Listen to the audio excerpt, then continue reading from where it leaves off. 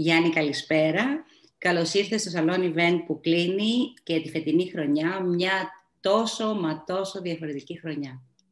Καλησπέρα Νίκη. Καλησπέρα και σε όλους όσους βρίσκονται σήμερα μαζί μας και παρακολουθούν ε, διαδικτυακά την κουβέντα μας. Ε, θα ξεκινήσω με την γνωστή ερώτηση πριν πάμε στη χρονιά και στα λοιπά. Πώς σου, πώς σου φάνηκε η φετινή διοργάνωση του Singularity που ήταν ε, τόσο διαφορετική, αλλά παρόλα αυτά συνέβη εν, εν μέσω πανδημίας και εν μέσω και lockdown. Δεν σου κρύβω ότι με όλη αυτή την κατάσταση και τους περιορισμούς που, έχουν, που έχει επιβάλει η υγειονομική κρίση, ε, με έχουν κάνει να νοσταλγώ τις μεγάλες αίθουσες του Μεγάρου Μουσικής, ε, τον πάρα πολύ κόσμο και την απίστευτη ενέργεια που υπάρχει στο δωμάτιο σε τόσο μεγάλα συνέδρια και τόσο δυνατά συνέδρια. Ωστόσο, οι καιροί αλλάζουν και πρέπει να προσαρμοζόμαστε και αν έπρεπε με μία λέξη να περιγράψω τη οργάνωση, θα έλεγα εντυπωσιακή καταρχάς. Ε, μετά θα έλεγα ότι ήταν ε, παγκοσμίου κλάσης, τόσο σε επίπεδο οργάνωσης και νομίζω αυτό οι περισσότεροι ε, που βρισκόμαστε σήμερα εδώ και το παρακολουθήσαμε μπορούν να καταλάβουν τι λέω και παγκοσμίου κλάση επίπεδο οργάνωσης αλλά και αισθητικής με κορυφαίους ομιλητές, πολύ καλό περιεχόμενο και το περιεχόμενο αυτό πολύ σημαντικό για όλους μας, μιας και αποτελεί τροφή για σκέψη και έμπνευση αυτές τις πολύ μίζερες εποχές. Οπότε θα έλεγα ότι με διαφορετικό τρόπο μας ξανάφερες φέτος ένα ε, παγκόσμιο συνέδριο στη μικρή μας χώρα και σε ευχαριστούμε και σε ευχαριστώ και εγώ πάρα πολύ γι' αυτό. Και εμείς ευχαριστούμε για την συνεργασία, την πολύ ωραία συνεργασία και την υποστήριξη ε, κυρίως και σε ηθικό επίπεδο και θα επανέλθω σε αυτό. Τα τελευταία χρόνια ε, το βλέπουμε αυτό και από την ε, ομιλία και του πρώην Πρωθυπουργού της Ολλανδίας παρατηρούμε μια άλλη αντίληψη οικονομίας και των επιχειρήσεων και είχαμε και μια σχετική συζήτηση, το είδαμε και στην ομιλία του, του πρώην Πρωθυπουργού της Ολλανδίας, τον κύριο Μπαλκενέντε, ε, όπου μιλήσαμε για το ρόλο των επιχειρήσεων και τη δέσμευσή τους ε, να συμβάλλουν θετικά στον πλανήτη και στον άνθρωπο, δηλαδή να φύγουν από αυτό που λέμε maximizing shareholder value, δηλαδή μόνο να κερδίζουν οι επενδυτές, αλλά σε μία άποψη σαν αυτή που βλέπουμε στην Αμερική του Benefit Corporation, δηλαδή μία εταιρεία, μία εταιρεία που δεσμεύεται ε, όχι μόνο να δίνει value εσωτερικά στους εσωτερικούς stakeholders της, αλλά και να δίνει value στην κοινωνία, αλλά και, και, στους, και στον πλανήτη. Ποια είναι η άποψη της Κοτσόβολος για τη συμβολή των επιχειρήσεων στην κοινωνία και στον άνθρωπο; Ωραία ερώτηση. Ε, η άποψη της Κοτσόβολος, αλλά πιστεύω και όλων των εταιριών και ειδικά των μεγάλων, και σίγουρα δεν απαιτείται να ορίζεται αυτό από το καταστατικό τους ως benefit corporations έτσι, και να πρέπει να είναι υποχρέωση στην πραγματικότητα, συμβατική υποχρέωση, είναι, να, είναι ότι οφείλουν να επιστρέψουν στους εργαζομένους, στους πελάτες, ε, στην κοινωνία και στο περιβάλλον ε, ένα μέρος από τη στήριξη ε, και την αναγνώριση που η κοινωνία τους έχει δώσει και δεν θα βρίσκονταν εκεί αν δεν είχαν αυτή την αναγνώριση και αυτή τη στήριξη. Ε, και είναι πολύ και ουσιαστική, θα έλεγα, οι λόγοι που μια εταιρεία πρέπει να το κάνει αυτό, πάνω και πέρα από τις συμβατικές υποχρεώσεις.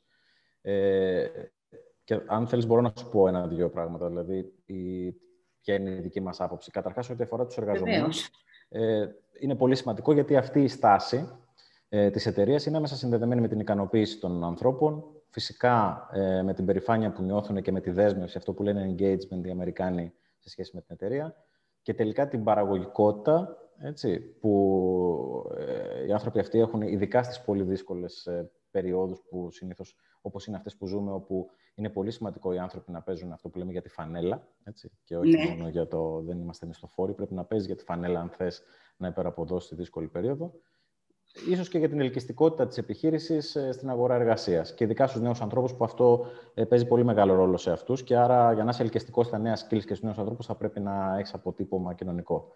Μετά σε ό,τι αφορά τους πελάτες, φυσικά αυτό απογειώνει τη μάρκα έτσι, και αποτελεί κριτήριο επιλογής. Σε ό,τι αφορά την κοινωνία, εφόσον είσαι μέρος του οικοσυστήματος, είτε είσαι κατάστημα, είτε είσαι εταιρεία, θα πρέπει να φροντίζεις το οικοσύστημα ε, για να μπορέσει να σε φροντίσει και αυτό και, και σε ό,τι αφορά το περιβάλλον, νομίζω ε, αυτό είναι κατανοητό. Αν θέλει μια εταιρεία σαν και εμάς που είναι 70 ετών να ζήσει άλλα 70 χρόνια ε, και οι εταιρείες είναι οι άνθρωποι τους και οι άνθρωποι της και οι άνθρωποι όλοι έχουμε, πολλοί από εμάς έχουμε ε, παιδιά. Θέλουμε και αυτά να τα δούμε να μεγαλώνουν σε ένα καλύτερο ε, περιβάλλον. Πραγματικά ε, αυτό αποτελεί πολύ σημαντικό. Το, το να ε, έχεις ένα θετικό αποτύπωμα και σε αυτό το κομμάτι είναι πολύ σημαντικό και βέβαια αποτελεί και αυτό κριτήριο επιλογής ε, των πελατών ε, απέναντι στις εταιρείες.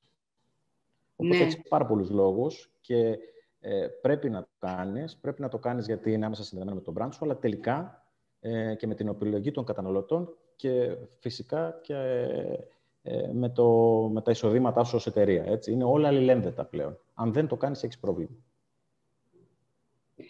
Πριν από δύο χρόνια, Γιάννη, ε, είχαμε μία συνάντηση με την ομάδα της Κοτσόπολος, που βέβαια είναι μία ομάδα που έχουμε και μία συνεργασία, από το, εξαιρετική συνεργασία πάντα από το παρελθόν. Ε, και όταν ξεκινήσαμε αυτή τη διαδρομή ε, του Singularity, ε, μου έκανε πάρα πολύ εντύπωση ότι η ομάδα δεν ήθελε να λανσάρει μία marketing καμπάνια μέσα από το Singularity, αλλά την ενέργεια την οποία μάλιστα λανσάραμε μαζί πρώτη φορά τότε, ε, την πρωτοβουλία τεχνολογία χωρίς εμπόδια. Στόχος, από ό,τι μου είχε πει η ομάδα τότε, ήταν να ενδιαναμώσει τους ανθρώπους να ζήσουν μια καλύτερη ζωή, ανθρώπους με αναπηρία. Θα ήθελα λίγο έτσι να να πάμε πίσω και να μου πεις πώς ξεκίνησε αυτή η πρωτοβουλία. Δηλαδή, είχατε κάποιο συγγενή, φίλο, κάποιο τέλεχος, γιατί δεν έχω δει έτσι τόσο μεγάλη ευαισθησία, εγώ τουλάχιστον από άλλες εταιρείες. Ε, ποιος έριξε αυτή την ιδέα στο τραπέζι και πώς; Λοιπόν, θα σου πω, είχαμε μιλήσει και πέρσι λίγο στον πρώτο κύκλο αυτής της ε, ε, πρωτοβουλίας, αν θυμάσαι σε μια παρόμοια κουβέντα στα γραφεία σου, ε, όπου εκεί για πρώτη χρονιά παρουσιάζαμε ε, ένα hackathon που είχαμε στήσει πάνω σε, όπου ζητούσαμε από εταιρείες, ε, πανεπιστήμια ή άτομα τα οποία ε, είχαν μια ιδέα, η οποία θα μπορούσε να τεχνολογική ιδέα, η οποία θα μπορούσε να βελτιώσει τη ζωή των ανθρώπων, με αναπηρία να έρθουν και να συμμετέχουν σε αυτό το hackathon. Θα σου πω λίγο όμως τι πιστεύω για όλο αυτό. Εμείς, αυτό ξεκίνησε πράγματι, δεν ξεκίνησε γιατί είχαμε κάποιος, κάποιος άνθρωπος στην εταιρεία έφερε απλά την ιδέα ε, γιατί ε, είχε ε, κάποια σχέση με έναν άνθρωπο με αναπηρία και είχε κάποια παραπάνω ευαισθησία. Εμείς... Και αυτό είναι εντυπωσιακό, έτσι, δηλαδή. Ναι, βέβαια. Βέβαια, θα μπορούσε να είναι και απλά μία marketing ενέργεια. Και τι θέλω να πω. Εμείς κάποια στιγμή, ε, θα κάνω μία γρήγορη αναδρομή, βρεθήκαμε δίπλα στο ΕΛΕΠΑΠ ως μία μέρα από αυτές τις μέρες που λέμε οι μέρες καλής πράξης εμείς εδώ και πάμε και κάνουμε ε, μια, ε, είναι μια μέρα όπου η εταιρεία δείχνει εταιρική κοινωνική υπευθυνότητα. Ε, βρεθήκαμε δίπλα στο ΕΛΕΠΑΠ. Ε, εκεί να σου πω την αλήθεια, αλλιώς τα περιμέναμε, αλλιώς είδαμε τα πράγματα. Είδαμε πραγματικά ε, μια, ε, έναν οργανισμό που με πολύ μεγάλη αισιοδοξία προσπαθούσε να κάνει μαγικά πράγματα είτε με την τεχνολογία είτε με τους ανθρώπους για να μπορέσει να κάνει τη ζωή των ανθρώπων και των παιδιών με αναπηρία καλύτερη. Ε, και εκεί πήραμε αρχικά μια ιδέα και λέμε πάρα πολύ ωραία ε, εφόσον αυτοί οι άνθρωποι παλεύουν να κάνουν τη ζωή των ανθρώπων καλύτερη, ε, γιατί να μην κάτσουμε δίπλα τους, εφόσον αυτό στηρίζει και το δικό μας όραμα σαν εταιρεία που λέει καλύτερη ζωή μέσα από την τεχνολογία και ενδυναμώνουμε τους ανθρώπους να ζήσουν καλύτερη ζωή μέσα από την τεχνολογία, ε, να δουλέψουμε μαζί τους και να ε, κάνουμε και το καλό, αλλά και να μπορέσουμε να, να είμαστε και πιο inclusive για αυτούς τους ανθρώπους, δηλαδή να, να μπορούμε να τους, να τους στηρίξουμε και αυτούς. Θα μπορούσε να πει κανείς δηλαδή. Ναι, θα μπορούσε να, πούνε, θα μπορούσε να πει κανείς κιόλας ψυχρά, ακούγοντάς με τώρα, ότι OK, είναι μια κλασική CSR ενέργεια. Τι έγινε όμως; Ε, την πρώτη χρονιά, όταν το στήσαμε, θυμάσαι, ήρθαμε στο πρώτο Singularity, γιατί θεωρήσαμε ότι είναι ένα συμβατό άρμα, το καλύτερο δυνατό και με τη μεγαλύτερη φωνή, γιατί και αυτό πρεσβεύει πώς η τεχνολογία μπορεί να κάνει τη ζωή των ανθρώπων καλύτερη. Και όσο πέρναγε ο καιρός όμως, άρχισε, άρχισε να συμβαίνει το εξής. Ε, αρχίσαμε να γίνεται ε, βασικό ε, βασική πρωτοβουλία μες στην εταιρεία και άρχισε πλέον να έχει ε, ε, σημαντικό αντίκτυπο μες στην εταιρεία. Και τι θέλω να πω. Ε, άρχισαμε να καταλαβαίνουμε, για παράδειγμα, ότι μιλάγαμε για μια καλύτερη ζωή μέσα από την τεχνολογία και ενώ είχαμε βάλει τα tick box ως μια μεγάλη εταιρεία, μια πολυεθνική, ε, σε ό,τι αφορά τα inclusivity features που είχαμε στα μαγαζιά μας, δηλαδή το πόσο ε, μπορούσαν οι άνθρωποι με ε, διάφορες αναπηρίες να πλογηθούν στο κατάστημά μας ή να, να μπορέσουν να συναστραφούν μαζί μας, τελικά ήμασταν βαθιά ανοιχτωμένοι, όπως λέω εγώ πάντα.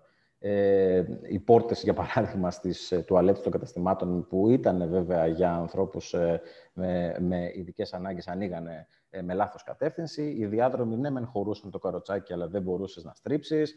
Ο, ε, τα ταμπελάκια μας είχαν πάρα πολύ μικρά γράμματα. Το site μας είχε πάρα πολύ μικρά γράμματα και δεν είχε inclusivity features που μπορούσες να μεγαλώσεις τα γράμματα, να αυξήσει την αντίθεση, να έχεις voice over. Ε, και καταλάβαμε ότι ε, όταν ε, θες να μιλάς για τεχνολογία πρέπει να είσαι advanced ό,τι αφορά την τεχνολογία ο ίδιος και όταν θες να μιλάς για ε, καλύτερη ζωή ανθρώπων με αναπηρία θα πρέπει ο ίδιος να μπορείς να, το, να υποδεχτείς αυτούς τους ανθρώπους καλύτερα. Ψάχνοντας το μετά, καταλάβουμε ότι πρόκειται για ένα εκατομμύριο κόσμο, ο οποίος έχει ε, ένα εκατομμύριο Έλληνες ε, έχουν κάποια μορφή αναπηρία. Και, και εκεί πλέον το πράγμα αλλάζει και καταλαβαίνεις ότι αν το 10% του, της Ελλάδος αντιμετωπίζει κάποια αναπηρία, ε, ε, πραγματικά κάτι πρέπει να κάνεις γι' αυτό, γιατί ναι. εν δυνάμει το 10% του πελατολογίου σου το έχεις αποκλείσει. Έτσι, ή δεν και δεν κάτι είναι, θα ήθελα να πω εδώ, εδώ μόνο η αναπηρία. Υπάρχουν και τα κινητικά προβλήματα που είναι γυναίκες με καροτσάκια. Το έχω ζήσει πάρα πολύ ε, για το πώς να μπει στο κατάστημα όταν έχεις ένα παιδί στο καροτσάκι, ή όταν έχεις ένα παιδί με σπασμένο πόδι και δεν μπορείς, πρέπει να το πάρεις μαζί σου. Φυσικά. Ή όταν είσαι υπερήλικα ή μεγάλο στην ηλικία και έχεις κάποια αστάθεια, οπότε ναι, δεν είσαι ανάπηρος, ανάπηρος, αλλά έχεις κινητικές, κινητικά προβλήματα. Ναι, και θέλω να σου πω ότι ένα τεράστιο κομμάτι, σχεδόν τα μισά, η μισή, οι, οι άνθρωποι, μάλλον η μισή από τους ανθρώπους που εμφανίζουν κάποια αναπηρία δεν είναι ε, εμφανής αυτή η αναπηρία και αν δεν ε, είσαι ε, ανοιχτός στο να, να ενημερωθείς για αυτό και να προσαρμοστείς σε αυτό, το πιο, το πιο πιθανό είναι να μην το καταλάβεις και τελικά ε, να δώσεις μια κακή εμπειρία. Θέλω να σου πω, για παράδειγμα, ε, μια οικογένεια η οποία μπαίνει στο κατάστημά μας και είτε κάποιο μέλος είτε το παιδί παρουσιάζει κάποια μορφή αυτισμού. Ε, αν δεν το γνωρίζεις, να προσαρμοστείς σε αυτό, ε, ε, θα, θα δώσεις μια πολύ κακή εμπειρία στην οικογένεια. Ε, οπότε, ε, αυτό που είπαμε λοιπόν είναι το εξής. Εννοείς γιατί λόγω αυτισμού δεν πρέπει να έχει πολλά φώτα, ε, μουσική κλπ. Σωστά, σωστά. Ε, οπότε, τι είπαμε, πάρα πολύ ωραία. Ε, ας μετατρέψουμε ε, αυτό, αυτή τη marketing ενέργεια, αυτή τη CSR ενέργεια σε ένα ταξίδι μετασχηματισμού, που πρώτα θα, θα ξεκινήσει από τα συστήματά μας, από τα καταστήματά μας, και θα καταλήξει στα προϊόντα μας, στην εκπαίδευση των ανθρώπων μας σε ό,τι αφορά τα inclusivity features που πάρα πολλά προϊόντα έχουν, αλλά ούτε τα δείχναμε τα features αυτά στο site, στο, στο online κατάστημά μας, ούτε είχαμε εκπαιδεύσει τους πολιτές να τα πούνε. Να επιλέξουμε και προϊόντα που είναι φτιαγμένα ε, για αυτό το σκοπό και ε, να μετασχηματιστούμε εμείς ε, και να γίνουμε πιο ε, ανοιχτοί και να μπορέσουμε να υποδεχτούμε με καλύτερο τρόπο αυτό το ένα εκατομμύριο ανθρώπων. Έτσι, το οποίο θα μπορούσες να το δεις και ψυχρά και να πεις ένα εκατομμύριο πελάτες. Ε, πραγματικά θα δίνεις πάρα πολλά για να τους υποδεχτείς στο μαγαζί σου. Άρα εδώ να πούμε ότι όταν μιλάμε για πρόσβαση στην τεχνολογία, ε, μιλάμε για δύο επίπεδα. Το ένα επίπεδο είναι πώς μπορώ εγώ να έχω πρόσβαση με το καροτσάκι μου να επισκεφτώ physically το κατάστημα Σωστά. ή πώς μπορώ εγώ με τα κινητικά προβλήματα που έχω είτε με το πρόβλημα ακοής, ακόμα και όρασης, να επισκεφτώ το site και να παραγγείλω. Σωστά. Και το τρίτο κομμάτι είναι στην γάμα των προϊόντων per se, δηλαδή αν αυτά τα προϊόντα τα οποία μπορώ να βρω μέσα από τα ράφια, τα ηλεκτρονικά ή τα φυσικά, έχουν τέτοια features, μεγάλα πληκτρολόγια ή ε, μπορώ να έχω ακουστικές εντολές ή φωνητικές εντολές, ώστε να μπορώ να τα χρησιμοποιήσω παρά την αναπηρία ή τα κινητικά προβλήματα που έχω. Και έχουν πάρα πολλά τέτοια features, ειδικά τα, τα μεγάλα brands έχουν ενσωματώσει απίστευτα features, τα οποία όμως κανείς δεν τα ξέρει. Οπότε εμείς έχουμε και την υποχρέωση, καταρχάς πρέπει να εκπαιδευτούμε, γιατί ούτε εμείς τα ξέραμε, πρέπει να τα αναδείξουμε και να τα επικοινωνήσουμε. Ε, οπότε, τι κάναμε και φέτος, είπαμε, ωραία, ξεκινάμε αυτό το ταξίδι, πιστοποιούμε σιγά-σιγά τα μαγαζιά μας και επεμβαίνουμε με, με σημαντικές παρεμβάσεις στα μεγάλα και μικρά καταστήματα. θα μας πάρει περίπου δύο χρόνια, δυόμιση να τα μαζέψουμε όλα. Γιατί, ναι, γιατί έχει πολύ μεγάλα κόστη και έχουμε κάνει και πάρα πολλά λάθη. Υπάρχουν μαγαζιά που σήμερα δεν θα τα επέλεγα αν αυτό αποτελούσε κριτήριο επιλογής. Έτσι, για το... Είναι και το θέμα του πάρκινγκ, της πρόσβασης, πώς φυσικά. θα μέσα. Φυσικά, φυσικά. Ε, οπότε, ε, είπαμε, πάμε να το γυρίσουμε σε ένα ταξίδι μετασχηματισμού. Ε, σε αυτό τα πλαίσια, ε, και, και εκεί τι κάναμε, ε, πήγαμε και ε, βάλαμε ξανά ως σημαία, γιατί επικοινωνιακά χρειαζόμαστε μια σημαία για να μπορέσουμε να εκφράσουμε στον κόσμο ε, ποιο είναι ακριβώς, ποιος είναι ακριβώς ο σκοπός της εταιρείας και τι θέλουμε να κάνουμε. Εκεί ήρθε και το Land Roller και η στήριξη πάνω σε αυτόν τον άνθρωπο, ο οποίος ε, ως ε, ε, σύγχρονος εφευρέτης έφτιαξε ένα τρομερό εργαλείο που βοηθάει τους ανθρώπους με κινητικά προβλήματα που πρέπει να κάθονται σε ένα παιδικό καροτσάκι να έχουν μια καλύτερη ζωή.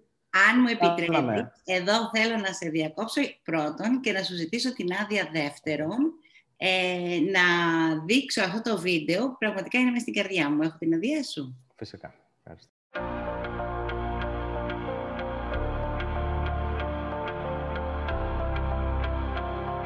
This is Ladroller, a unique standing wheelchair made to help tens of millions of wheelchair users worldwide. We are aware of wheelchair user health complications due to their sedentary life. They have to regularly attend physiotherapy and rehabilitation sessions in order to gain the mobility they need or even to just stand up because the human body was designed to do so. Furthermore, people confined to wheelchairs have lost their autonomy they have lost the ability to make eye contact with those around them. That's why Kotovolos supports the inventors of Ladroller. Ladroller is a standing wheelchair that elevates the user through the motions of the wheels alone. Ladroller is selectively four-wheel drive and thanks to the placement of the larger wheels on the front, it is able to overcome obstacles like steps, curbs, and gaps. Ladroller is an entirely new innovative approach to mobility compared to existing devices. And that's why Kotovolos supports its team in creating the next generation of Ladroller.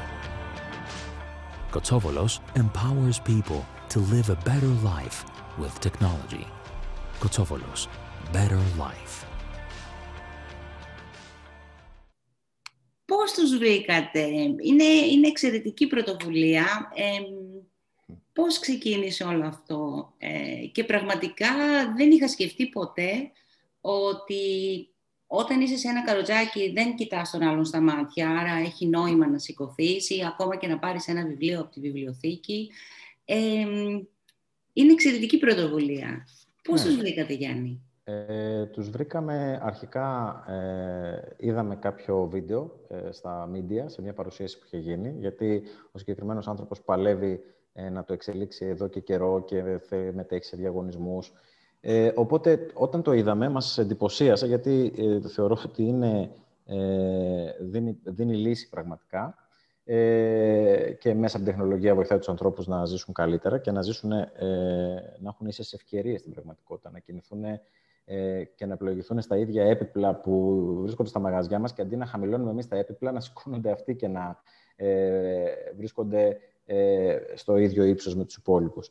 Ε, νομίζω ότι μας άρεσε πάρα πολύ εξ αρχής. Ε, κάποια στιγμή έμεινε πίσω. Δεν σου κρύβω ότι όταν μερικά πράγματα πρέπει να συμβούν, θα συμβούν και ένας πολύ δικός μου άνθρωπος από το ε, marketing βρέθηκε τυχαία με τον άνθρωπο αυτό κοντά σε ένα δείπνο. Οπότε είπαμε, αυτό είναι. Ε, είναι ξεκάθαρο ότι εδώ υπάρχει κάποιο σημάδι. Και αποφασίσαμε να το κάνουμε σημαία, να το στηρίξουμε προφανώς, μέσα από το οικοσύστημα και τις εταιρείες που συνεργαζόμαστε να το πάμε και λίγο παραπέρα τεχνολογικά ε, και ελπίζω να τα καταφέρουμε. Μέσα από το ΕΛΕΠΑΠ επίσης να δώσουμε feedback στον εφευρέτη ώστε να μπορέσει και εκείνος να το δει πρακτικά και να το βελτιώσει. Και εμείς, σαν Singularity, να μας υπολογίζετε για ό,τι μπορούμε να υποστηρίξουμε. Ακριβώς και αυτό, πήγα, αυτό πήγα να πω, Νίκη. Γιατί εμείς αυτό το κάναμε σημαία, ε, γιατί ακριβώς εκφράζει το σκοπό μας και αυτό που θέλουμε να κάνουμε και επικοινωνιακά το ανεβάσαμε. Και πάλι ζητήσαμε τη βοήθειά σας να το τρέξουμε στο Singularity ε, το οποίο εκφράζει ακριβώς αυτό. Ακριβώς αυτό. Προφανώς εδώ δεν είναι μια εκθετική τεχνολογία, αλλά η απόσταση του, του, του καροτσιού αυτό από το επόμενο ε, είναι εκθετική, θα έλεγα, η, είναι μια, η διαδρομή του. Είναι μια εκθετική... Ε, ένα εκθετικό improvement στη ζωή των ανθρώπων, εάν μπορούν να Έτσι. έχουν πρόσβαση σε ένα τέτοιο... Και δεν σου κρύβω ότι όταν το έπαιξες τα βίντεο και το παρουσίασες, πάρα πολλοί άνθρωποι του δικού μας, της δικής μας αγοράς και της τεχνολογίας, τέλος πάντων, είτε συνεργάτες είτε προμηθευτές, ε, είτε πολύ μεγάλοι ε, operators, μου στείλανε μήνυμα και μου λένε «Ρε Γιάννη, πάρα πολύ ωραίο αυτό. Πώς μπορούμε να βοηθήσουμε, για παράδειγμα, να κάνουμε κάτι με αυτό, να προσθέσουμε αυτό» που από μόνο του ε, αυτό έχει μια τεράστια αξία και μας τη δίνει το Singularity σε αυτή την περίπτωση με πολύ εμφατικό τρόπο. Εξαιρετικό, εξαιρετικό. Ε, έχεις να δώσεις έτσι κάποια συμβουλή ε, σε άλλες εταιρείες; Ποια είναι η εμπειρία σου από αυτό το ταξίδι που έχει ξεκινήσει, εγώ σας ξέρω χρόνια και έχετε κάνει και άλλα coding initiative για τους νέους, δηλαδή πάντα οι πρωτοβουλίες σας είναι προς το CSR κομμάτι και το ουσιαστικό CSR. Ε, για ποιους λόγους θα έλεγες ή θα συμβούλευες σε άλλες εταιρείες, αξίζει να υιοθετήσει μία εταιρεία αυτές τις πρακτικές και τις δράσεις; Ναι. Ε, Καταρχάς, αν δεν το κάνουν ήδη, νομίζω ότι πρέπει να ξεκινήσουν και έχουν ήδη αργήσει. Το είπα και πριν. Ε, επίσης, καλό είναι μια εταιρεία να προσπαθεί να, να κάνει δράσεις οι οποίες είναι συμβατές με το δικό της DNA για να μπορεί αυτό να πολλαπλασιάζεται και να, να γίνεται μεγαλύτερο. Και ε, όπως για παράδειγμα, εμείς προσπαθούμε μέσα από την τεχνολογία που πουλάμε και τεχνολογία και εμπλεκόμαστε αυτή να κάνουμε τη ζωή των ανθρώπων καλύτερη, έτσι, μια εταιρεία η οποία ε, είναι ξέρω εγώ, στο, στα τρόφιμα θα πρέπει να κάνει κάτι για μένα σχετικό με αυτό. Ε, εμείς, για παράδειγμα, δίνουμε δεύτερη ζωή σε προϊόντα ε, και τα δίνουμε σε οικογένειες που δεν έχουν ε, ναι. να αγοράσουν, γιατί αυτό μπορούμε να το κάνουμε. Είναι μέσα στο DNA μας και μπορούμε στο λειτουργικό μοντέλο να το, να το δώσουμε. Το ξέρω, αυτό από πρώτο χέρι, ναι. Σωστά. Άρα, λοιπόν, ε, ακόμα και αν δεν πιστεύουν, ακόμα και αν δεν αποτελεί μέρος ε, του αξιακού του συστήματος αυτή η, η προσφορά και αυτός ο τρόπος λειτουργίας, θα πρέπει να το κάνουν ακόμα και με καθαρά ε, ιδιωτελή κίνητρα είναι κάτι που το είπα και πριν. Αν δεν το κάνουν, οι, πελά... οι πελάτες θα πάψουν να τους επιλέγουν. Ναι. Οπότε ε, πρέπει να καταλάβουν ότι όπως τα πράγματα αλλάζουν, όπως οι, οι νέες γενιές ε, έρχονται και το, το, το απαιτούν αυτό από τις εταιρείες, πρέπει όλοι να βρούνε αυτές τις πρωτοβουλίες, συμβατές κατά την άποψή μου με το DNA τους και να προσφέρουν, γιατί αν δεν το κάνουν δεν θα τους επιλέγουν. Ναι. Εγώ το βλέπω και από την ομάδα του Singularity και από την ομάδα μας δηλαδή ε, και από την ομάδα που τρέχει και το εθελοντικό κομμάτι. Πρώτον, πάρα πολλοί ενθουσιάζονται και συγκινούνται με όλο αυτό που κάνουμε για το impact, για τα free εισιτήρια που δίνουμε, που δίνουμε πίσω στην κοινωνία, τα προγράμματα ή το live ε, free. Και του συγκινεί και να συμμετάσχουν, αλλά και αγαπάνε αλλιώς το brand, γιατί βλέπουν ότι δεν είναι ένα brand το οποίο κοιτάζει μόνο πώς τα βγάλει, κοιτάζει μόνο τον εαυτό του, φροντίζει και τους γύρω του και αυτό τους, τους δίνει ένα άλλο respect, αυτό που λέμε. Φυσικά. Βλέπουν τον brand αλλιώς.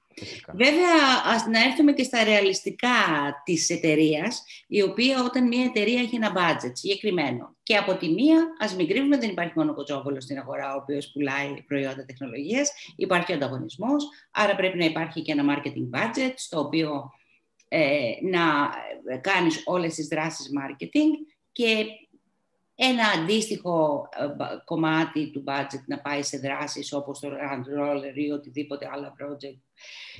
Πώς, πού τραβάτε τη γραμμή, δηλαδή πώς μοιράζεται η πίτα όλο αυτό του budget, γιατί και ένα project σαν γι' αυτό ε, δεν είναι και πολύ ε, ευκαταφρόνητο το ποσό που κάποιος ε, επενδύει. Ναι.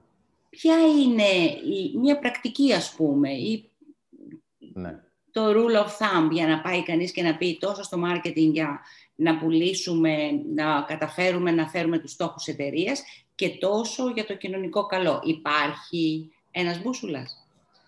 Θα, θα σου πω. Ε, ο Κοτσόβολος είναι από τους μεγαλύτερους spenders ε, ε, διαφημιζόμενους στην Ελλάδα. Νομίζω το καταλαβαίνουν όσοι μας παρακολουθούν σήμερα. Το βλέπουν στην τηλεόραση. Το δύσκολο δεν είναι να βρεις ένα, από, το, από το budget που έχεις ένα κομμάτι και να το δώσεις σε corporate τέτοιου είδους ενέργειες ή σε CSR ενέργειες ή να στηρίξεις ε, το, το, το corporate κομμάτι και το equity της εταιρείας. Το δύσκολο είναι να καταλάβεις ε, ποια είναι η αξία ε, αυτού και να απεξαρτηθείς λιγάκι από τις προϊόντικές ε, διαφημίσεις, οι οποίες είναι άμεσα συνδεδεμένες με, το, ε, με τις πωλήσεις. Ναι. Όσο τα πράγματα όμως, όσο ο καιρός περνάει, παλιότερα ήμασταν πολύ πιο εξαρτημένοι, δεν είχαμε καν τέτοιου είδους budget ή corporate, είχαμε ένα περιολάχιστο CSR κομμάτι. Όσο τα πράγματα γίνονται ε, πιο δύσκολα, ειδικά σε περίοδους κρίσης, όσο περνάνε τα χρόνια, μπορώ να πω ότι ε, η, το, και ειδικά στις δύσκολες εποχές επιμένω, το brand equity της εταιρείας, η αξία της μάρκας δηλαδή, αποτελεί το βασικό στοιχείο ναι. Που κινητοποιεί τους ανθρώπους να αγοράσουν. Ε, τα προϊόντα και οι τιμές, επειδή είναι ε, όμοια ή παρόμοια, ε, ε δεν είναι στοιχείο διαφοροποίησης. Είχε, δεν είναι στοιχείο διαφοροποίησης. Όχι μόνο δεν είναι στοιχείο διαφοροποίησης. Αν δύο μάρκες έδιναν ε, τα ίδια ή παρόμοια προϊόντα στην ίδια τιμή, ο πελάτης θα επέλεγε ε, τη μάρκα με το υψηλότερο equity. Οπότε πρέπει να φροντίζουμε τη μάρκα μας και το αποτύπωμά της, έτσι σε όλα αυτά τα σημεία που είπαμε πριν, στην κοινωνία γενικότερα. Η τιμή, δεν έχει, η τιμή, τιμή δεν έχει, λέγανε οι παλιοί, έτσι. Ε, ή απλά αποτελεί παράγοντα υγιεινής και όχι μοναδικό πλέον ε, κριτήριο επιλογής. Οπότε, για μένα, σε αυτές τις δύσκολες περιόδους, αυτό που πρέπει να κάνεις είναι προφανώς να έχεις καλύψει την υγιεινή σου και να είσαι ανταγωνιστικός, αλλά ε, πρέπει πραγματικά να ενισχύεις την άλλη σου δράση, την corporate δράση σου και να ενισχύεις το equity της εταιρείας σου πατώντας πάνω στις αξίες σου και με συμβατές δράσεις στο DNA σου για να μπορέσεις να διαφοροποιηθείς και να σε επιλέξουν. Γιατί αποτελεί προαπαιτούμενο αυτό. Ενώ η τιμή είναι παράγοντας υγιεινής μεν, ναι. αυτό αποτελεί επόμενο στάδιο ε, ε, για την επιλογή, έτσι και κρίσιμο και, και, και βασικό στάδιο. Πριν πάω στην επόμενη ερώτηση, για όσους έχουν ε, τη διάθεση και μας παρακολουθούν ε, και έχουν και τη διάθεση να κάνουν ερωτήσεις ε, και στο chat μας, αλλά και στο Q&A, μπορούν να μας στείλουν ερωτήσεις για ό,τι θέλουν να ρωτήσουν εδώ το Γιάννη που τον έχουμε κοντά μας σήμερα στο Salon Event του Singularity University. Και να πάω στην επόμενη ερώτηση που για μένα είναι πολύ σημαντική. Ε, είδαμε ότι ο ψηφιακός μετασχηματισμός, Γιάννη, ήταν πάρα πολύ ψηλά στην ατζέντα των επιχειρήσεων και πριν την COVID εποχή. Βέβαια, κυκλοφορεί και το ανέκδοτο ποιος έκανε τον ψηφιακό μετασχηματισμό, ο CTO, ο CEO ή ο COVID. Και όλοι λένε ο COVID. τι πιστεύεις, θα υπάρξει... Καταρχήν, τι συμβαίνει τώρα ή τι έχει συμβεί; Εσύ σαν retail, ακούμε τώρα το click away. Σαν retail, θέλω να σε ρωτήσω πρώτα, πώς ανταποκριθήκατε σε όλη αυτή την τρέλα του lockdown 1, lockdown 2 και τώρα έχουμε και Χριστούγεννα και ο κόσμος αναρωτιέται πώς θα πάρει τα δώρα. Και γενικώ, τι κάνατε learn και unlearn μέσα από αυτό το, αν θέλεις, έκτακτο διαγώνισμα; Ναι. Ε, το retail, να πω την αλήθεια, ήταν άσχετο τώρα να μιλάμε για τεχνολογία και ε, retail, mixed electrical ή τεχνολογίες που είμαστε εμείς, αλλά το retail γενικότερα θα έλεγα, ήταν αυτό που όπως πάντα ε, βιώνει και βίωσε και αυτή τη φορά όλη αυτή την αλλαγή. Έτσι, γιατί είναι σε, σε, σε πρώτο χρόνο ε, βλέπει τα πάντα και βιώνει τα πάντα, οπότε ε, η, το, η χονδρική και το, και το υπόλοιπο κομμάτι της εφοδιαστικής αλυσίδας το βλέπει πάντα αργότερα.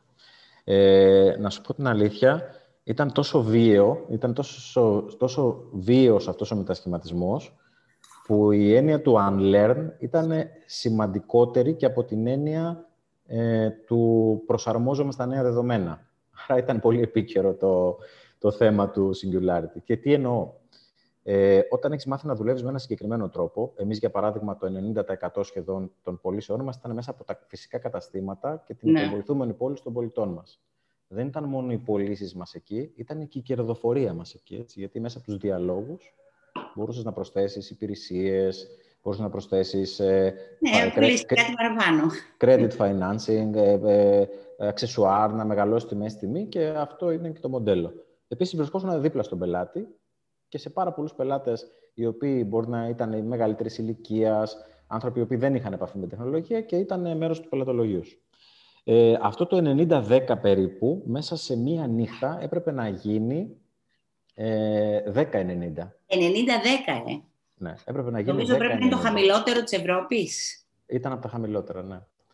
Και συνεχίζει να είναι, γιατί η Ευρώπη και αυτή έκανε αύξηση. Τι έγινε όμως εδώ πέρα; Ε, και μάλιστα όχι, δεν έπρεπε να γίνει 10-90, έπρεπε να γίνει πολλές φορές και όπως τώρα ε, 100%. Ε, να περάσει μέσα από τα εναλλακτικά κανάλια που είναι το ίντερνετ, ε, το, οι online πωλήσεις και το, τα call centers που εξυπηρετούσαν αυτούς που δεν μπορούσαν να εξυπηρετηθούν από το, εξυπηρετούν αυτούς που δεν μπορούν να εξυπηρετηθούν από το online.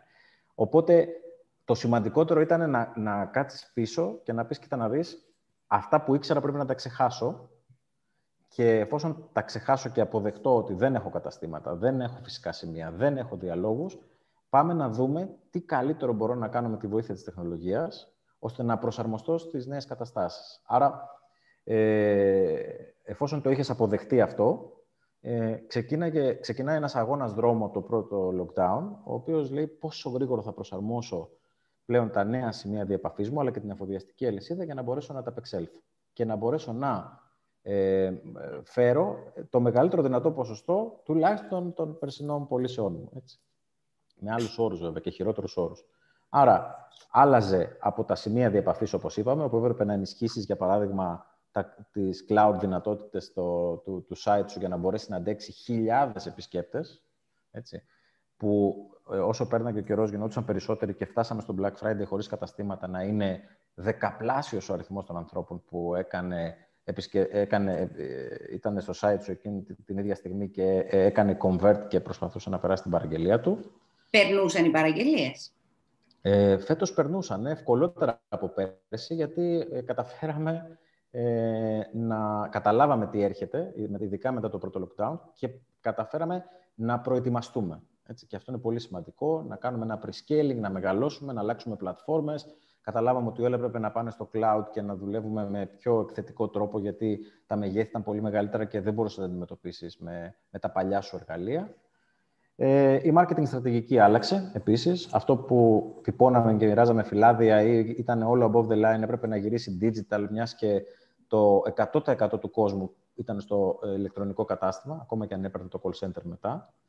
Ε, οι προτεραιότητες του IT, βία επίσης ε, και η αρχιτεκτονική των συστημάτων άλλαξαν. Έτσι. Πάψαμε να αναπτύσσουμε ε, το κομμάτι του Omnichannel που αφορούσε το μετασχηματισμό των καταστημάτων και δουλέψαμε εντατικά στο να μπορέσουμε να ενισχύσουμε τα συστήματα να αντέξουν για το κομμάτι των call centers και του, ε, και του online. Όπως επίσης στήσαμε, ε, τα πρώτα, αλλάξαμε τα δίκτυά μας, τα καταστήματα, για να μπορούν τα μαγαζιά μέσα από τη λογική των dark stores να μπορούν να ετοιμάζουν και να αποστέλουν παραγγελίες χωρίς να έχουν κάποιο θέμα. Και βέβαια το μεγάλο ε, και η μεγάλη και η προσαρμογή ήταν στο κομμάτι της εφοδιαστικής αλυσίδας, όπου εκεί που έκανες, σε βοηθούσαν τα μαγαζιά να κάνεις Πέρσι κάναμε στο Black Friday, ξέρω εγώ, 8-9 χιλιάδες παραγγελίες, αποστολές τη μέρα, μικρών και μεγάλων προϊόντων. Ε, για να... Φέτος έπρεπε να ξεπεράσεις τις 30.000 τη μέρα για να βρεθείς ε, στο 80% της περσινής ε, περίοδου. Ε, οπότε έπρεπε να ετοιμάσεις περισσότερους αποθηκευτικούς χώρους, πολύ μεγαλύτερες picking, packing και δυνατότητες αποστολών, νέα συστήματα, γιατί έπρεπε να σπάσεις όλη αυτή τη δουλειά σε όλα τα σημεία ε, και στα καταστήματα και βέβαια όλο αυτό να τρέχει ε, με, με, με AI τεχνολογίες για το, για το forecasting του που πρέπει να βρίσκεται το προϊόν. Πολύ σωστό. Και βέβαια να κάνεις και ε, optimization όλης αυτής της διαδικασίας ώστε να μπορείς να παραδώσεις τον νωρίτερο δυνατό. Άρα αυτός...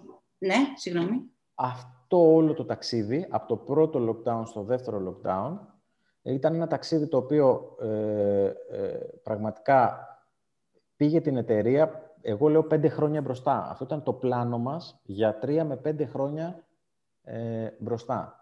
Και μπορέσαμε ένα μεγάλο κομμάτι από αυτό, έστω και τώρα πυροσβεστικά σε κάποια σημεία, να το επιταχύνουμε και να το φέρουμε μέσα σε ε, έξι μήνες. Και αυτό ήταν που σήμερα που σου μιλάω μας έχει δώσει ε, πολύ μεγάλη δύναμη και μπορούμε να ε, μιλάμε για ότι έχουμε καταφέρει να, να φέρουμε πίσω ένα πολύ μεγάλο κομμάτι των περσινών πωλήσεων την ίδια περίοδο με κλειστά μαγαζιά και να επιτυγχάνουμε αυτό το 10-90 σε σχέση με το 90-10 πέρυσι. Οπότε τεράστιο, τεράστιο. Είναι τεράστιο. Έχει ακόμα πολύ δρόμο για να συμβεί. Έχει ποιοτικό δρόμο γιατί έχει χαθεί ένα κομμάτι της ποιότητας και, και της κερδοφορίας λόγω αυξημένων εξόδων και η βίαιη προσαρμογή πάντα, όπως καταλαβαίνεις, δεν έχει ε, efficiencies. Αλλά ε, πραγματικά, όπως και εμάς, έτσι και την υπόλοιπη αγορά και τους ανταγωνιστές μας, ε, ε, επιτάχυνε τα πάντα ναι. και όποιος προσαρμόζεται ε, θα κερδίσει από αυτό, όποιος δεν προσαρμόζεται, αντίστοιχα με βίαιο τρόπο θα βγει από την αγορά. Οπότε ήταν ένα, ένα πράγμα το οποίο δεν το φανταζόμουν ποτέ μέσα σε όλα τα... Έχω ζήσει capital controls, έχω ζήσει άλλου είδους κρίσεις. ναι, τα τελευταία χρόνια δεν έχουμε 50%. Ακριβώς. Αλλά αυτό το πράγμα, ε, να αλλάζουν τα πάντα τόσο βία και να πρέπει να είσαι το, και, και με τη βοήθεια της τεχνολογίας και, των, ε, και της εκθετικής τεχνολογίας να μπορέσεις να μετασχηματίσεις κάτι τόσο γρήγορα, το 5-year plan σου να το κάνεις μέσα σε 6 μήνες, ε, πραγματικά είναι μαγικό. Έτσι. Και αυτός ο εκθετικός τρόπος που άλλαξε και έγινε ο μετασχηματισμός, η ταχύτητα αυτή, οφείλεται αντίστοιχα σε αυτές τις τεχνολογίες που μας δώσαν το δικαίωμα να μετασχηματιστούμε τόσο γρήγορα. Είναι απίστευτο. Η τύχη, λένε, ευνοεί τους καλά προετοιμασμένους. Την ε, τελευταία φορά που ήμουνα στα γραφεία σας, τα οποία είναι καινούρια και πολύ έτσι, high-tech, ε, μου εξήγησε η ομάδα ότι στο πρώτο lockdown ε, ήταν τόσο έτοιμος οργανισμός με όλες τις, ε, τις υποδομές που είχε κάνει στα νέα γραφεία, ώστε όταν βγήκε το όρντινο που λένε ότι δουλεύουν από το σπίτι, το μόνο που κάνανε είναι πήραν το λάπτοπ τους και business as usual. Τι υποδομές είχατε, γιατί δεν μπορεί τώρα να μου περιγράφεις ότι τις αλλαγές που θα κάνατε σε πέντε χρόνια τις κάνατε σε έξι μήνες, ε, θα πρέπει να, για να είχατε αυτή τη δυνατότητα να υπήρχαν και κάποιες υποδομές από πίσω ή να υπήρχε ένα στρατηγικό πλάνο. Ναι. Δεν συμβαίνουν όλα αυτά από τη μία μέρα στην άλλη, ούτε από τον ένα μήνα στον έξι. Ναι, συνέβησαν πάρα πολλά στους έξι μήνες, αλλά... Ε, θα πρέπει να είχα συμβεί και άλλα πολλά πιο πριν. Δεν ναι. γίνεται. Δηλαδή, Ο μετασχηματισμός έχει ξεκινήσει εδώ και τρία-τριάμιση χρόνια. Ε, και ε, εδώ μπορεί να το μεταφράσεις με, με δύο τρόπους. Αυτό το καλοκαίρι που είπες για τα, για τα... Όταν αλλάξαμε τα κτίρια, για παράδειγμα, αποφασίσαμε ότι δεν θα έχουμε ούτε καν συσκευές τηλεφώνων και θα είμαστε όλοι πάνω στο, ε, στο Office 365 και θα δουλεύουμε με Teams και θα είμαστε μέσα από... Ε, Αυτό χωρίς να ξέρετε τον COVID, ότι ο COVID έρχεται. Ε, αλλάζαμε γραφεία μετά από πολλά χρόνια. Στα παλιά μας γραφεία ήταν παλιά και ε, απαρχαιωμένα θα έλεγα και είπαμε ότι από τη στιγμή που μας δίνει την ευκαιρία να πάμε σε, ένα, σε καινούργια γραφεία, ας κάνουμε και ένα άλμα. Ε, οπότε εκεί μπορεί να το μεταφράσει με δύο τρόπους. Ή ότι ο Θεός μας αγαπάει και ήμασταν πάρα πολύ Ο Θεός αγαπάει και αυτός στην Αθηνά και χείρα εκείνη, δεν λένε. Ή όπως μου είπε ένας πολύ σημαντικός άνθρωπος στη Microsoft στο εξωτερικό, ε, την τύχη σου τη φτιάχνεις, οπότε... Συμφωνώ και εγώ σε αυτό. Έτσι. Οπότε εκεί τι είχαμε κάνει, είχαμε ξεκινήσει όντως να κάνουμε κάποια πράγματα, να μεταφέρουμε ε, legacy συστήματα που το ξετοθώ είχαμε πάρα πολλά στο cloud. Ε, είχαμε αρχίσει να αλλάζουμε τον τρόπο που δουλεύουμε, άρα ήμασταν όλοι mobile και μπορούσαμε να δουλέψουμε από μακριά, δεν είχαμε ανάγκη τηλέφωνα, εκτυπωτές ή οτιδήποτε άλλο. Οπότε μπορέσαμε πολύ γρήγορα να προσαρμοστούμε. Σε μία μέρα είπαμε είμαστε στο σπίτι. Από εκεί και πέρα όμως αυτό αφορούσε εμά και τη δυνατότητα να παραμείνουμε ε, παραγωγικοί και ψύχρεμοι θα έλεγα, με ε, την επικοινωνία να συνεχίζει να είναι και η παραγωγικότητα σε υψηλό επίπεδο. Αυτό που όμως συνέβη στους έξι μήνες ήταν ε, βαρύς μετασχηματισμός του μοντέλου λειτουργίας, το οποίο απαιτούσε πραγματικά τρομερές παρεμβάσεις, ε, είτε φυσικές παρεμβάσεις, είτε μετασχηματισμό των καταστημάτων, των ανθρώπων. Διευθυντές μας, ας πούμε, με, μπήκανε σε βανάκια και κάνανε το τελευταίο διάστημα παραδόσεις, για να μπορούμε να έχουμε το 90% των παραδόσεων μας μέσα σε δύο μέρες. Αυτό ε, όμως σημαίνει ότι υπήρχε και ένα flexibility και από το προσωπικό. Δηλαδή, ε, δεν το κάνει εύκολα ένας διευθυντής να μπει στο βανάκι να πάει να παραδώσει. Ε, Αυτό έχει να κάνει με το EVP και το equity. Δηλαδή, νιώθουν καλά, αγαπάνε την εταιρεία, βλέπουν ότι η εταιρεία ε, κινείται προς σωστή κατεύθυνση και ότι ε, τους προσέχει, αντίστοιχα, γιατί ο εργαζόμενος, τον είπα πρώτο, είναι πολύ σημαντικό να έχεις ένα θετικό αποτύπω πάνω στους ανθρώπους πρώτα, για να μπορεί αυτό να επικοινωνηθεί παραπέρα ε, και μετά στον πελάτη. Ε, και όταν χρειάζεται, αυτό το, το equity μεταφράζεται σε, ε, σε δέσμευση και η δέσμευση ε, κάνει θαύματα. Ε, οπότε, μέσα σε έξι μήνες αλλάξαν πάρα πολλά. Οι άνθρωποι ε, με agile λογικές μετασχηματιστήκαν, κινηθήκαν και μπορέσαν να, να φέρουν το αποτέλεσμα. Και να πω την αλήθεια, ε, δεν ανησυχούμε πλέον για το κατά πόσο μπορούμε να κάνουμε τη δουλειά ακόμα και με κλειστά μαγαζιά. Ε, αυτό που μας ανησυχεί πλέον, γιατί αυτό το καταφέραμε και αφού καταφέραμε το Black Friday θα καταφέρουμε και τα Χριστούγεννα και θα πάνε όλα καλά, είναι το πώς γρήγορα θα προσαρμόσουμε πλέον την παραγωγή, θα κάνουμε τις παρεμβάσεις ώστε να ξαναγίνουμε παραγωγικοί, γιατί όλη αυτή η βίαιη προσαρμογή έχει δημιουργήσει και πάντα δημιουργεί πάρα πολλά απόνερα. Οπότε, είτε τεχνολογικά, είτε ε, τα processes, ε, τις διαδικασίες, είτε ε, τα σημεία, είτε όλο το φάσμα το, της εταιρείας πρέπει αυτή τη στιγμή να το ξαναδούμε από την αρχή ε, και γρήγορα να προσαρμοστούμε στα νέα δεδομένα, τα οποία κάποια από αυτά ήρθαν για να μείνουν για πάντα. Έτσι. Δηλαδή, δεν μπορούμε να θεωρούμε ότι μετά το καλοκαίρι που θα έχει γίνει ο εμβολιασμός και θα έχουμε περάσει κι άλλο ένα lockdown κοντά στον Απρίλιο, θεωρώ, όλα θα έχουν λήξει και θα βγούμε χαρούμενοι και τα μαγαζιά θα έχουν τον ίδιο κόσμο που είχαν, το site μας θα ξαναβρεθεί στο ε, 5 και 7% που ήταν πριν. Του... Δεν υπάρχουν αυτά. Ο κόσμος άλλαξε. Έτσι, ελπίζω να ξαναγυρίσουμε στο Μέγαρο πάντως και να κάνουμε το Singularity στο Μέγαρο. Δεν ξέρω τι λες. Και εγώ, το, εγώ ελπίζω το καλύτερο, ότι είναι πιο καλό για όλους μας. Μπορεί να μην θέλουμε μετά. Ναι, μπορεί, να μας φαίνεται, μπορεί να μας φαίνεται old school ε, και να έχουμε συνηθίσει κάτι άλλο. Ε, Έρχονται τα Χριστούγεννα. Ε, περπατούσα ε, σήμερα το πρωί στο πάρκο και είδα έναν κύριο που τον πήρε τηλέφωνο η γυναίκα του και της έλεγε: Γυναίκα, δεν ξέρω πώς θα ψωνίσουμε στη Χριστίνα την κόρη μας δώρο. Κάτσε να δούμε. Δεν ξέρω. Εγώ από site δεν ξέρω να ψωνίζω. Τι συμβαίνει αυτή τη στιγμή; Ε, και εδώ είναι τα ερωτήματα δύο. Έχω ακούσει για το click away, ε, για κάποια συστήματα delivery να μην μπορούν να σηκώσουν το φόρτο. Πού βρισκόμαστε στο τώρα, σε αυτή τη γιορτινή περίοδο που όλοι θέλουμε να ψωνίσουμε για τους αγαπημένους μας; Εγώ έχω παραγγείλει μελάνια σε, μια, σε ένα ειδικό υποτίθεται site που θα μου τα έστελνε και έχει περάσει κανένας μήνας ακόμα ναι. και ακόμα. Κοίτα, η ερώτηση είναι, ε, κανείς δεν ξέρει θα σου έλεγα. Θα σου πω όμως τι συμβαίνει. Υπάρχουν ε, industries που έχουν δει το μέλλον νωρίτερα, όπως είναι το industry των, το, της τεχνολογίας, δηλαδή ε, εταιρείες οι οποίες πουλάνε είτε mixed electrical είτε τεχνολογικά προϊόντα, οι οποίες ήταν πιο έτοιμες. Ε, πάντα η τεχνολογία είναι, οι άνθρωποι που εμπλέκονται με τεχνολογία είναι λίγο πιο έτοιμοι από τους υπόλοιπους.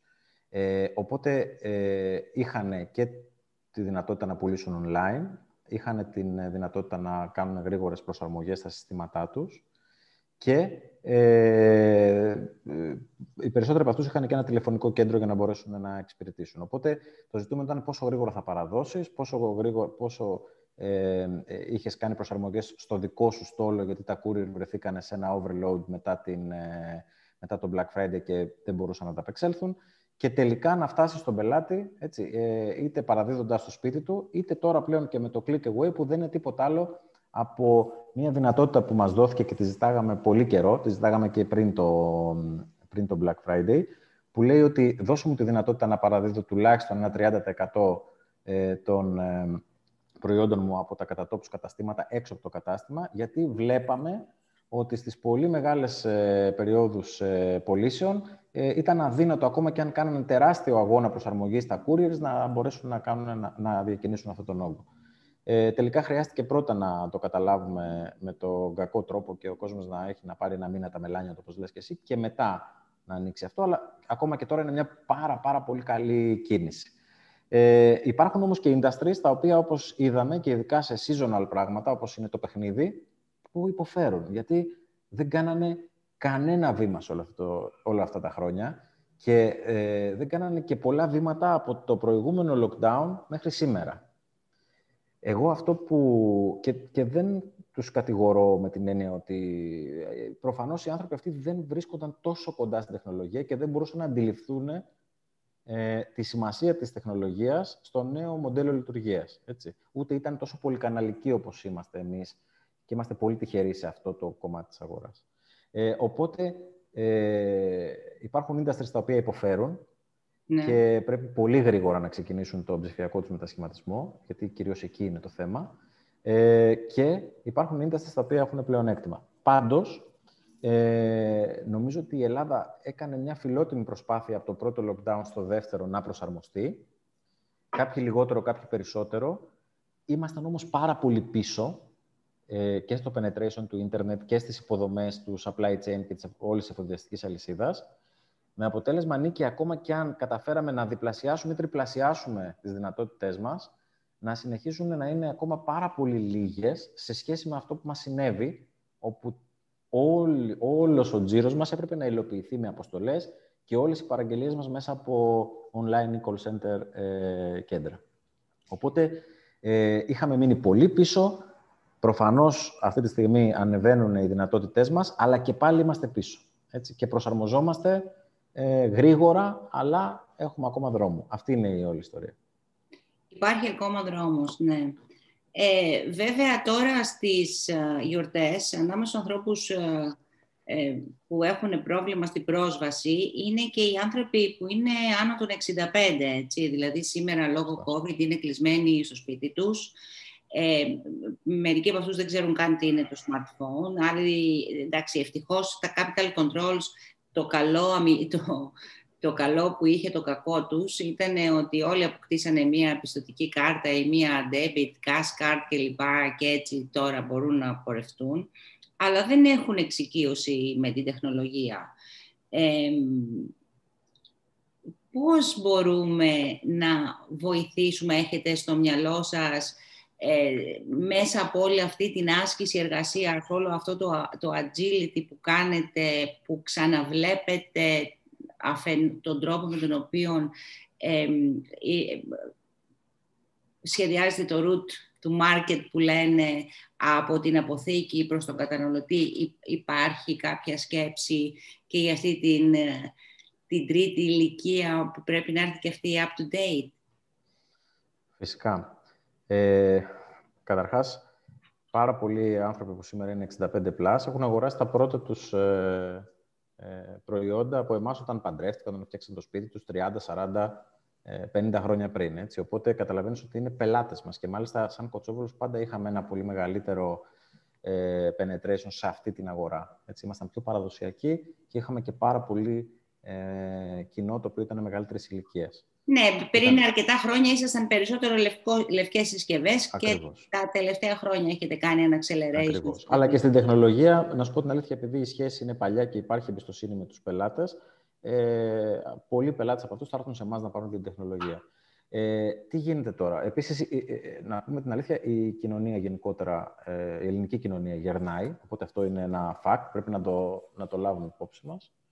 Η τεχνολογία επίσης τρέχει με πολύ γρήγορου ρυθμού. Ακόμα και εμείς που εμπλεκόμαστε με την τεχνολογία, ε, δυσκολευόμαστε να παρακολουθήσουμε σε πάρα πολλές περιπτώσεις ε, τις εξελίξεις. Ναι, ε, η κόρη μου νομίζω ότι είμαι μαθουσάλας. Ακριβώς. Εγώ που έλεγα ότι μέχρι σήμερα δεν θα έχω κανένα πρόβλημα με τη δική μου κόρη, γιατί είμαι πολύ κοντά στην τεχνολογία και άρα το χάσμα θα είναι ε, μικρό. Καλά, εντάξει. Ε, τώρα καταλαβαίνω πόσο, πόσο γρήγορα αυτό. Και λέω δηλαδή σκέψη πώς είναι η υπόλοιπη. Ε, τώρα, μέσα από εμείς, αυτό το κομμάτι μας απασχολεί πάρα πολύ. Μέσα από την έρευνα προσπαθούμε να καταλάβουμε ανάγκες, μέσα από την εκπαίδευση να εκπαιδεύσουμε τους ανθρώπους μας να προσεγγίζουν σωστά, να προσαρμόζουμε τα συστήματά μας και τα προϊόντα μας, ε, να είναι φιλικά προς ε, αυτές τις ε, ηλικιακές ομάδες. Ε, και το μεγάλο ανταγωνιστικό μας πλεονέκτημα, να σου πω την αλήθεια, που τώρα το είχαμε χάσει, ε, είναι ο πολιτής ο οποίος μέσα από, ο οποίος με ενσυναίσθηση προσεγγίζει αυτούς τους ανθρώπους και προσπαθεί να καταλάβει τις ανάγκες τους και, και έχει και τον τρόπο ε, και, να, και την ευγένεια αλλά και την υπομονή να μπορέσει να τους βοηθήσει, να καταλάβει τι θέλουν, να τους βοηθήσει και επειδή υπάρχει και εμπιστοσύνη προς τον brand και τους ανθρώπους και πάρα πολλοί από αυτούς έχουν και ανθρώπους που ζητάνε στα μαγαζιά, να τους βοηθήσουν να, να κάνουν το βήμα, εκπαιδεύοντάς τους και βοηθώντας να επιλέξουν για να έχουν και αυτή πρόσβαση και τελικά μια καλύτερη ζωή. Αυτό μας έχει λείψει τώρα και δεν σου κρύβω ότι υπάρχουν και πάρα πολλοί άνθρωποι οι οποίοι δεν μπορούν να κάνουν το τελευταίο διάστημα καμία αγορά, γιατί δεν μπορούν να την κάνουν ούτε από το ίντερνετ, αλλά δυσκολεύονται να ολοκληρώσουν ακόμα και τις επιλογές του τηλεφωνικού κέντρου για να μπορέσουν να μιλήσουν με έναν agent στο τηλεφωνικό κέντρο. Ε, αυτό είναι πάρα πολύ δύσκολο και ειδικά έχουμε περιπτώσεις που μπορεί να... Εμείς έχουμε και προϊόντα πρώτης ανάγκης, γιατί το σούπερ μάρκετ μπορεί να είναι είδος πρώτης ανάγκης, αλλά και το ψυγείο που βάζει τα, ναι. τα, τα τυριά σου και τα λαδικά σου ε, προαπαιτεί, είναι προαπαιτούμενο για να βάλεις τα προϊόντα αυτά μέσα. Και ε, άνθρωποι φτάνουν ε, με απόγνωση ας πούμε, έξω από τα μαγαζιά και χτυπάνε την πόρτα γιατί χρειάζονται κάτι και δεν μπορούν να το βρουν. Έχουμε κάνει κάποιες αλλαγές στα τηλεφωνικά μας κέντρα. Έχουμε προσπαθήσει ε, με αναγνώριση των πελατών να, να προτεραιοποιήσουμε, να κάνουμε. Τέλος πάντων, είναι πάρα πολύ δύσκολο. Ένα από τα καλά που βοηθάει αυτή τη στιγμή το, το click away ε, είναι ότι ε, οι άνθρωποι αυτοί, ένα από τα πολύ δύσκολα κομμάτια του journey ήταν άντε και επικοινωνήσανε πώς κάνουν check-out. Ε, τώρα ε, μπορούν να έρθουν με την κάρτα τους και να πληρώσουν τουλάχιστον για να παραλάβουν ένα είδος. Ναι. Ε, και αυτό τους δίνει μια ασφάλεια γιατί την ώρα που πάνε να παραλάβεις ακόμα και κάποιο πρόβλημα να υπάρχει, οι άνθρωποι μας που βρίσκονται εκεί είναι πάρα πολύ έμπειροι, είναι κυρίως τα μία πολύ έμπειρα, τα οποία θα τους πούνε ότι κοιτάξτε να δείτε, ε, θα πρέπει να το κάνετε έτσι ή να σας βοηθήσουμε να το κάνετε έτσι. Δηλαδή, δίνει μία λύση. Και να σου πω και την αλήθεια, όταν ξεκίνησε μια κουβέντα για να καταλάβεις με τα σούπερ μάρκετ το αν πρέπει να πουλάνε ε, θερμαντικά σώματα ή ηλεκτρικές κουβέρτες, εγώ ήμουν από τους λίγους που είπα φυσικά και να πουλάνε και σταματήστε τις χαζομάρες με το αν αυτό είναι αθέμητος ανταγωνισμός και ε, τι θα γίνει αν τα σούπερ μάρκετ πουλήσουν ένα θερμαντικό ή ένα τηγάνι σε έναν άνθρωπο που το έχει ανάγκη, γιατί υπάρχουν άνθρωποι που δεν μπορούν να μας φτάσουν αυτή τη στιγμή, καλοί μας πελάτες, και μπορεί να είναι ο πατέρας μας, ο παππούς μας, έτσι, και πρέπει αυτοί οι άνθρωποι με κάποιο τρόπο να πάρουν ε, το είδος στα χέρια τους. Άρα είναι πολύ σημαντικό να δώσουμε διεξόδους. Εμείς είμαστε στημένοι για να αγκαλιάζουμε τη μεγαλύτερη ηλικία. Δυστυχώς, όπως έχουν τα πράγματα σήμερα, ε, απέχουμε πάρα πολύ από αυτό και μας στεναχωρεί ιδιαίτερα. Ελπίζω ναι. όταν ανοίξουν τα μαγαζιά και να ανοίξουν ε, μετά την πρώτη εβδομάδα του Γενάρη, αυτοί οι άνθρωποι να μπορέσουν να, να έρθουν και να, να καλύψουν τις ανάγκες τους.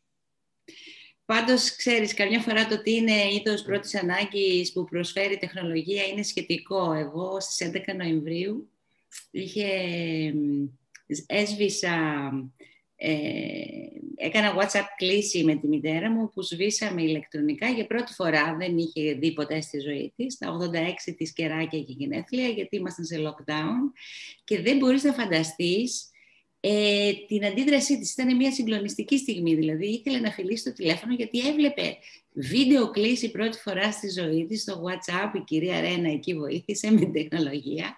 Και δεν σου κρύβω ότι συγκινήθηκα βαθιά. Είναι δηλαδή ε, η τεχνολογία καμιά φορά φέρνει μοναδικές στιγμές. Και πριν κλείσουμε, γιατί έχουμε τρία λεπτά, αλλά κανείς δεν είμαστε κανάλι, όσο θέλουμε τα λέμε, ε, θα ήθελα να σε ρωτήσω, είμαστε λίγο πριν το κλείσιμο του 20, έρχεται το 21, ποια είναι τα πλάνα σας ενδεχομένως και τι ελπίζεις ότι θα μας φέρει το 21. Ή τι εύχεσαι. Ναι. Εγώ, να σου πω την αλήθεια, ε, αυτό που μου λείπει πάρα πολύ είναι ε, ε, όλη αυτό το, η κοινωνικοποίηση που είχαμε πριν και μπορούσαμε να είμαστε με ανθρώπους, να ανταλλάσσουμε απόψεις, να κάνουμε ένα δείπνο, να μπορέσουμε να μιλήσουμε.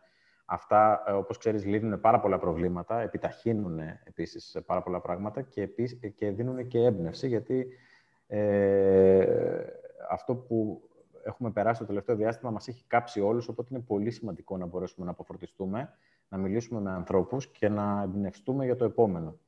Ε, εμένα αυτό μου λείπει περισσότερο από όλα. Ε, ξέρω ότι δεν είναι πάρα πολύ εύκολο και δεν θα συμβεί αυτό. Εγώ είμαι από αυτούς που συνήθως πέφτω και μέσα. Πιστεύω ότι θα ανοίξουμε πιθανότητα και μετά το πρώτο δεκαήμερο των εκτόσεων. Θα ξανακλείσουμε για να προετοιμαστούμε για την καλοκαιρινή σεζόν που είναι τόσο κρίσιμη για αυτή τη χώρα και θα δούμε κάποια μορφή κανονικότητα εφόσον εμβολιαστεί ένα μεγάλο κομμάτι του πληθυσμού, που από ό,τι φαίνεται πάει όλο και πιο πίσω, γιατί υπάρχει τεράστια, τεράστιο μάχη για το ποιος θα πάρει και πώς θα κατανεμηθούν τα εμβόλια. Ε, Καταρχήν και... στην ευρωπαϊκή βάση και μετά όταν έρθουν και στην Ελλάδα πάλι θα πρέπει να γίνει μια ιεράρχηση των προτεραιοτήτων. Οπότε καλό Σεπτέμβριο-Οκτώβριο, αν όλα έχουν πάει όπως πρέπει, για να αρχίσουμε να βιώνουμε ξανά κάτι από, τη, από την παλαιότερη κανονικότητα, από αυτό που, που ορίζαμε ως κανονικότητα στο παρελθόν. Ε, ε, μέχρι τότε να μπορέσουμε πραγματικά να ε, αντέξουμε και να φιλοσοφήσουμε λιγάκι, γιατί και αυτό είναι πολύ, πολύ σημαντικό. Είναι πάρα πολύ δύσκολη περίοδος. Δεν θα είναι εύκολη. Μπορεί να είναι και πιο δύσκολη σιγά σιγά, γιατί έρχεται η κόπωση και στους πελάτες και σε εμάς προσπαθούμε να κάνουμε ό,τι καλύτερο μπορούμε και στις επιχειρήσεις. Ε, ε, και νομίζω ότι ε, κάπου εκεί θα αρχίσουν τα πράγματα να βελτιώνονται. Ε, ελπίζω να μην έχει ε, δημιουργηθεί ε, περιβάλλον το οποίο θα οδηγήσει σε πολύ μεγάλη ύφεση και ένα, ένα καλό rebound όπως το νιώθουμε εμείς στα μαγαζιά, γιατί όταν ανοίγουμε υπάρχει ένα rebound, ένα rebound και στον τουρισμό αλλά και στην κατανάλωση να δώσει σε όλους χώρο για να μπορέσουν να, να αναπνεύσουν. Και τέλος της επόμενης χρονιάς, καλή ώρα τέτοια περίοδο, να είμαστε το μέγαρο. Καλά, να είμαστε καλά και να είμαστε στο μέγαρο που λες, ακριβώς. ε, νομίζω αυτό είναι. Δεν είναι και τόσο... Είμαι αισιόδοξος για το μέλλον. Ε, αναμένω κι εγώ rebound και, γιατί υπάρχει μεγάλη ανάγκη για να γυρίσουμε σε καλύτερες μέρες. Έχουμε κιόλας ε, καλές προοπτικές, γιατί ο τουρισμός θα ανθίσει κάποια στιγμή. Αλλά ε, δεν θα είναι τόσο νωρίς, οπότε πρέπει να συνεχίσουμε τη, τη δουλειά πρέπει να, να πάρουμε όλη η απόφαση ότι έτσι είναι και έτσι πρέπει να δουλέψουμε και να συνεχίζουμε το, το μετασχηματισμό για να μπορούμε να ε, ενισχύουμε το brand μας, ο καθένας στο δικό του κομμάτι, με τα νέα δεδομένα. Εσύ με το, με το εξαιρετικό σου ε, ε, ιντερνετικό ε, online, τέλος πάντων, συνέδριο, εμείς με το νέο τρόπο παραγγελιοληψίας και παραδόσεων. Με τρόπο ναι, εξυπηρέτησης. Έτσι. Ε, όλοι μας με το, με, με τα νέα δεδομένα. Αν δεν το πάρεις απόφαση και δεν δουλέψεις γι' αυτό, ε, νομίζω, ότι, νομίζω ότι και θα, δεν θα έχεις βοηθηθεί από την εργασιοθεραπεία και δεν θα έχεις καταφέρει να περάσεις και στην επόμενη μέρα. Θα σε έχουν ξεπεράσει τα πράγματα με λίγα λόγια. Ακριβώς, ακριβώς. Γιάννη, σε ευχαριστώ πάρα πολύ για αυτή την πάρα πολύ ωραία συζήτηση που είχαμε σήμερα. Να ευχηθώ σε σένα, στην οικογένειά σου και στην οικογένεια του Κοτσόβολου καλή δύναμη καταρχήν σε όλες αυτές τις μέρες που μας φροντίζετε ώστε να μπορούμε να πάρουμε τα είδη που χρειαζόμαστε και τα δώρα στους αγαπημένους μας.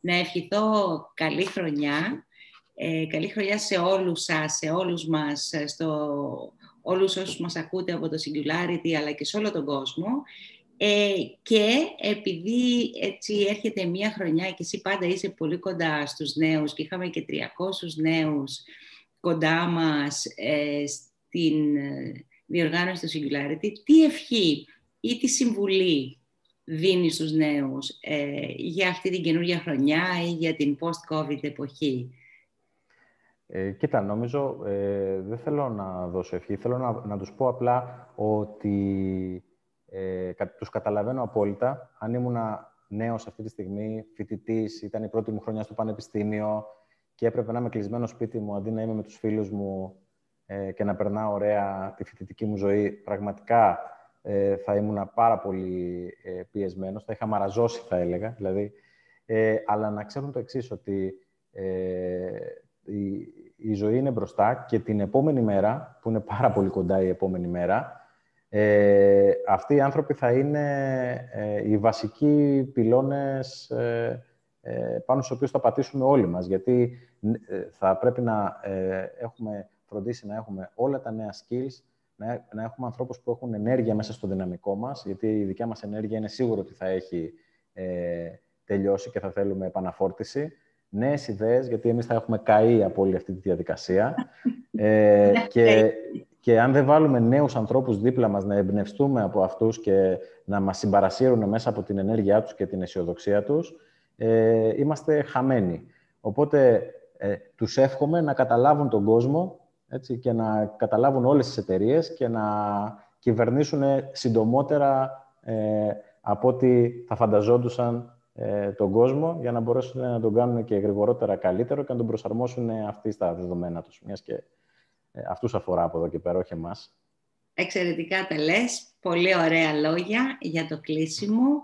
Σε ευχαριστώ πολύ για τη συντροφιά. Εγώ σας ευχαριστώ όλους. Και καλή Ελπίζω να ανταποκριθούμε στις προσδοκίες σε αυτό το διάστημα. Εύχομαι καλές γιορτές σε όλους. Με αυτά που άκουσα νομίζω ότι δεν θα υπάρχει κανένα πρόβλημα. καλή συνέχεια. Σε ευχαριστώ πολύ Νίκη. Και χαρά, καλή συνέχεια. Σας ευχαριστούμε πολύ όλους εσάς που ήσασταν κοντά μας και σας εύχομαι υγεία για σας, σε όλους που, όσους αγαπάτε, να είστε ασφαλείς και καλή χρονιά.